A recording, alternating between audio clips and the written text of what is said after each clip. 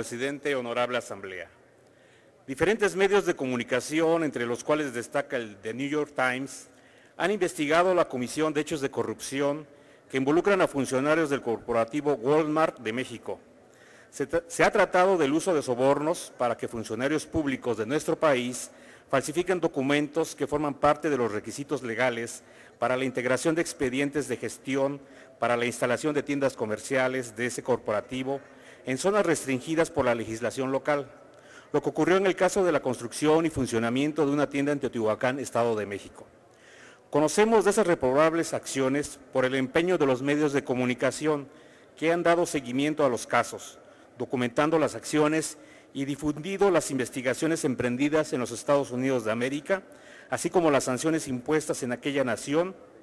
lo que lamentablemente contrasta con las nulas consecuencias jurídicas en nuestro país. Estos actos de corrupción muestran la activa participación de los más altos mandos de, del corporativo aquí y en el extranjero, la asignación permanente de recursos en su presupuesto para la comisión de esas conductas, la lentitud con que se implementan mecanismos internos de corrección e inhibición de dichas acciones. Y, lo más importante, las nulas consecuencias de estos actos, que en el mejor de los casos podrían ser sancionados de manera individual, afectando a los agentes directos que lo, cometen, pero no a quienes se ven finalmente beneficiados por los negocios realizados como consecuencia de las prácticas de corrupción. Las acciones de los agentes de las empresas transnacionales no pueden limitarse simplemente a su calificación como acciones aisladas de cohecho, soborno y corrupción,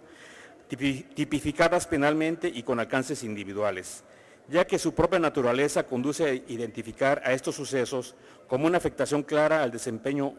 honrado de la función pública, principio esencial del régimen democrático del país, lo que debilita la vigencia del Estado de Derecho en su conjunto y como consecuencia afecta a la soberanía nacional, principios constitucionales todos.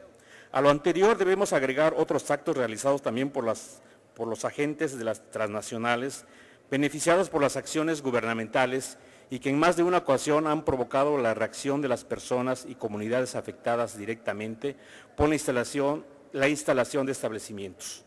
Personas y comunidades que se han organizado para exigir el imperio de la ley, el respeto a sus derechos y la congruencia de la autoridad con los principios que norman el desarrollo y que han reconocido legalmente. Además de las operaciones iniciales de corrupción y cohecho, los consorcios internacionales han recurrido a otras prácticas, financiadas también con cuantiosos recursos, para enfrentar a los críticos de sus acciones indebidas, otorgando toda clase de apoyos a autoridades auxiliares y grupos sociales cuya afinidad es literalmente comprada, motivándolas así para que manifiesten el apoyo social a los proyectos de las empresas extranjeras y se opongan por todos los medios, y no en pocas ocasiones, incluso a través de enfrentamientos físicos a las protestas ciudadanas que ejercen sus derechos al denunciar los actos iniciales de corrupción. Estas operaciones evidentemente debilitan la paz de la sociedad, afectan la seguridad y con motivos e intereses del capital extranjero fomentan la división y discordia de los mexicanos, teniendo como tema de confrontación la realización de hechos de corrupción de autoridades para expedir permisos o licencias a los que la empresa legalmente no tendría derecho o no podría acceder por lo que dichas conductas constituyen una afectación al pleno ejercicio de derechos humanos reconocidos en nuestro país como los de petición, manifestación, organización de toda clase de asuntos y particularmente en temas del orden público. Y en los, y en los casos más graves se atenta contra la dignidad, integridad de la vida de las personas. Apreciar que estas no son acciones aisladas o individuales, sino que forman parte de la planeación financiera de la empresa, permite advertir que no se trata exclusivamente de un asunto entre particulares, sino que las repercusiones de dichos actos tienden a debilitar principios esenciales en la organización del Estado Nacional, como el respeto al derecho a las personas, la probidad de nuestros funcionarios públicos, el Estado de Derecho en su conjunto, pilares esenciales del Estado Constitucional de Derecho. La presente iniciativa no pretende impulsar un nacionalismo hueco y sin sustancia, que se oponga a las tendencias de libertades que rigen al mercado. No se trata de imponer restricciones, pero sí enfatiza la necesidad de reconocer que las inversiones extranjeras que se autoricen al constituirse como sociedades bursátiles son sujetas y deben apegarse su actuación a la legislación nacional. De ningún modo se pretende imponer cargas, gravámenes u obstáculos a la inversión, pero sí precisar la obligación de respetar los principios constitucionales antes señalados y cuya vulneración constituye una afectación directa a la seguridad nacional en su conjunto, lo que debería ser en realidad la seguridad de las personas que constituimos a la nación mexicana. Es importante destacar que la obligación de observar y respetar las disposiciones legales de un país receptor es un imperativo incluso para los agentes diplomáticos, según lo establece el artículo 41 de la Convención de Viena de 1961, por lo que si aún las personas a las que dicho ordenamiento internacional otorga privilegios e inmunidad deben respetar dichos ordenamientos, cuanto más la inversión extranjera a lo que se otorgan plenas libertades y menores restricciones en su circulación, pero no privilegios o inmunidades que solo reconocen para los representantes oficiales de las naciones.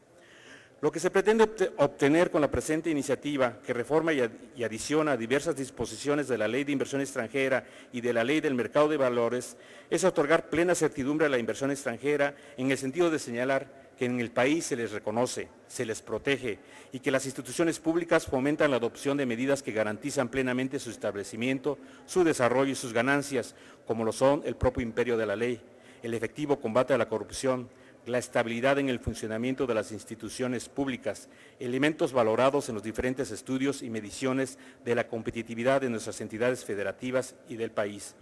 Mientras que la posible comisión de prácticas de corrupción genera un efecto perverso en las empresas al encarecer las propias inversiones y sobre el Estado en su conjunto al debilitar a las instituciones democráticas y erosionar las condiciones de competitividad. Muchas gracias. Es cuanto, diputado presidente. Gracias a usted, diputado.